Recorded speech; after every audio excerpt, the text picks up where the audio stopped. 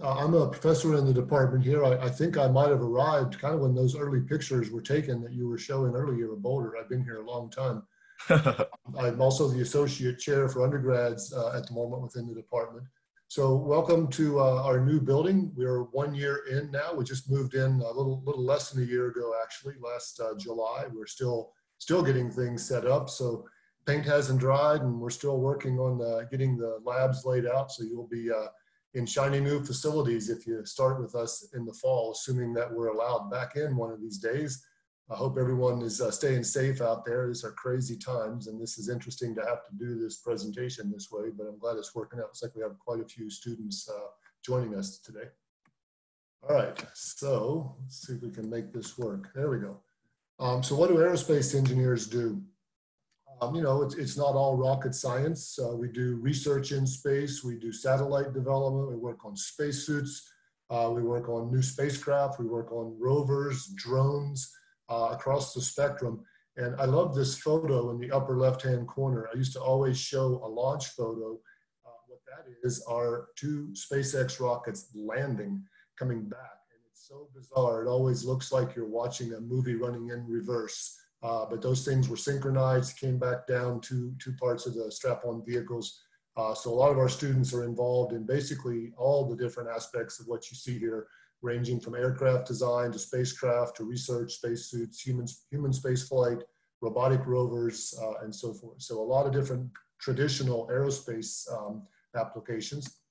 Uh, but what else does an aerospace engineer do? And these might be a little bit less obvious to you, but our department is, if you look at the lower left-hand part of the screen, aerospace engineering sciences. And that's a word that's in there for a purpose. Um, we also are involved in the research that the aerospace platforms enable. And in this case, things like soil moisture monitoring using remote sensing sites, uh, the fluid dynamics to improve upon aerodynamics and drag and fuel efficiency, harvesting wind energy, you know, the big turbines that you see, those are very much uh, aerospace engineering influenced because of the aerodynamics associated. In this case, the wind moves and the objects stay in place versus on an airplane when the uh, objects are driving the wind and trying to make it fly. So same basic idea. Uh, electric aircraft, uh, space debris mitigation, microgravity pharmaceutical development, global sea level monitoring. So all the sciences aspects, again, that the platforms enable, we also have a lot of research going on in the department uh, on the user, user side of these things as well. This is what we try not to do. Um, this is uh, systems engineering. This is the lack of systems engineering. Anyone, I hope, I hope you've never seen an aircraft that looks like this, uh, but this is the perspective that you get when you only focus on one thing. If you were trying to maximize the turbine, in this case, it really wouldn't be a very efficient design with the tiny little cabins off the, each wings. I hope you realize that's a photoshopped image, not a real aircraft but we really do focus on systems engineering, very holistic, broad-based, how all the parts fit together and function in a, in a, in a um, system.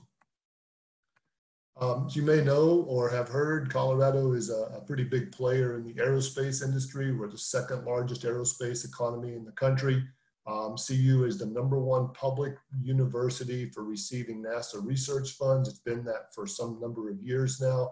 There's over 400 aerospace companies and various vendors and suppliers around Colorado.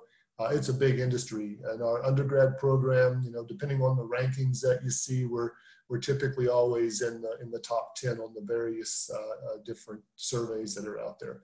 So it's a big, big place. It's a great place. It's kind of happened over the last 10 or 15 years. It's really grown and really taken off.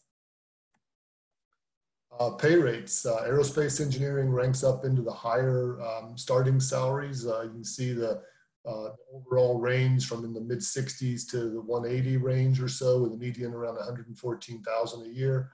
So depending on the numbers and the particular and the jobs, and these things are, are different in different parts of the country. that are adjusted for cost of living, but you can certainly expect to get a, a very good salary, even better than the, the normal engineering starting salaries uh, coming out here. So certainly is a, is a lucrative business, and more importantly, I think it's actually really fun. It's it's a it's typically a very rewarding career. It always ranks high in in uh, satisfaction of of the uh, employees and, and workers in the industry. All right, so what are we? We're a big department. We have basically tripled in size in the last seven years or so. We have over a thousand undergrads, and I think the grad students are actually more than 500 now, but I haven't verified that. So these are data from a year ago. Uh, alumni all over the place. We have 57 uh, faculty members, uh, 38 that are tenure tenure track, and we have some research professors, instructors, and various other uh, categories of, of people here that are going to be teaching you. Uh, president's teaching scholars, we have two in the college. Uh, these are a pretty high level elite group of, of teachers uh, recognized at the university at the campus system level um, over $20 million in research funds. So this doesn't directly affect you as an undergrad, but this gives you lots of opportunities to get involved in with other uh, faculty member who are doing research. Again, rankings were always up there, you know, very solid. Um, we have a lot of astronauts who have come out of CU in general, not just the aerospace department. Uh, around 20 affiliated astronauts, some of whom uh, didn't go to school here but came here and worked, so we count them as well. We actually have two current ast or two former astronauts currently on our faculty, uh, Jim Voss and Rick Hieb. Um, so here's what you will expect as a student here. Uh, we have a, a very, very um, in-depth, hands-on, experiential way of learning.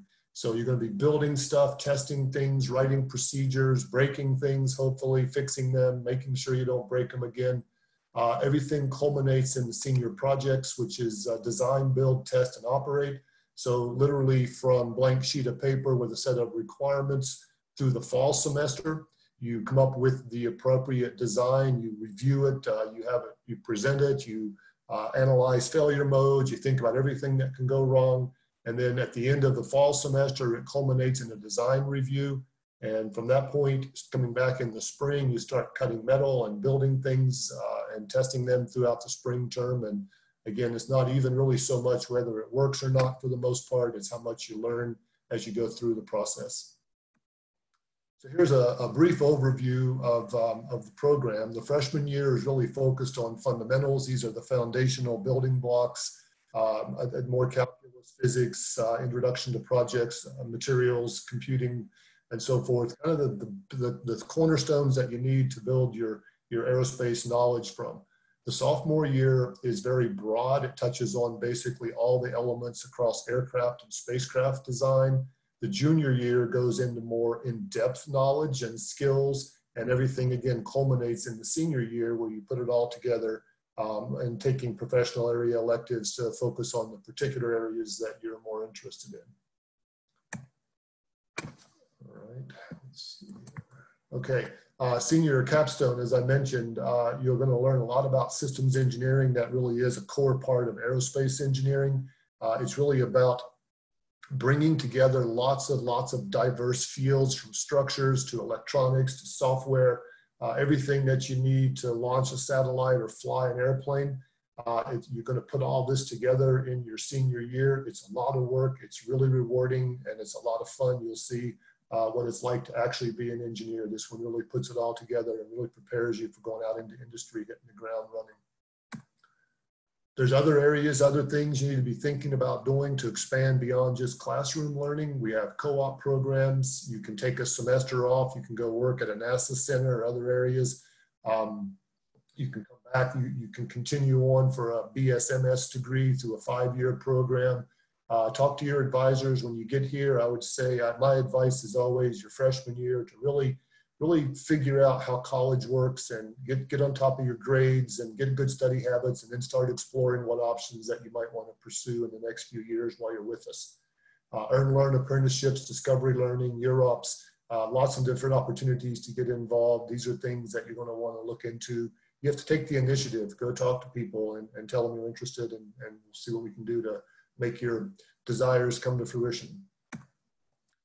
Um, aerospace student group. So in addition to that, there's all kinds of clubs. Uh, AIAA, the, the uh, uh, that's the that's the core um, American Institute for Aeronautics and Astronautics. That's our that's our core industry um, uh, um, chapter that has student involvement early on, and will, pre will prepare you for professional involvement as you go uh, Students for the Exploration and Development of Space, the CU SEDS group, Sigma Gamma Tau is an honor society design, build, and fly. There's a flying club if you're interested in flying. You can go up for flights with people.